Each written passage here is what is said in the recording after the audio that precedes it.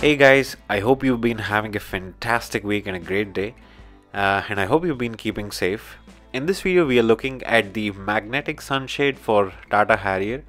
So this is how the packaging came. This was the exact packet, a very very hard box. And inside that box, there was uh, another packet inside which these sunshades were actually placed. And there was a very awful smell when you open that packet but once you throw that black thing away it was all gone. So that's fine. And uh, the sunshades were placed inside this. A simple poly bag a pretty good one. And you can see that they have the branding they have as they say that UV protection blah blah blah blah blah. And what you get is four sunshades. Two for the front two for the back.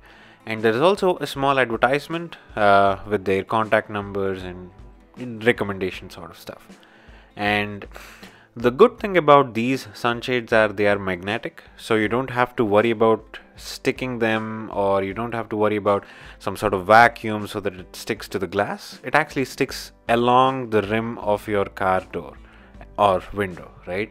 So this is how it is and the build quality is pretty good. In fact uh, these guys they were sticking to each other before uh, I mean as they came packed but let's see how they fare in the car. I've placed them in the car, all four of them, and I had a little bit of hassle. I believe that shouldn't be the case.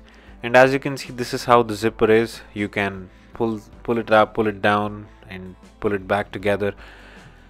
Uh, honestly, during the night time, I don't think this is really advisable because it does does uh, interfere with your visibility. Even during the daytime, it was not a very great option. But if you think uh, you'll be all right, then absolutely go for it. But I think at least the driver side window, it does need a little bit of visibility towards the rear view mirror, the wing mirror at least. So that's about it guys if uh, the coming to the quality it's fantastic i have no complaints about it but yeah do you actually have to get it i think that depends on your decision so I hope you found this video informative. Thank you so very much for watching and have a lovely day ahead.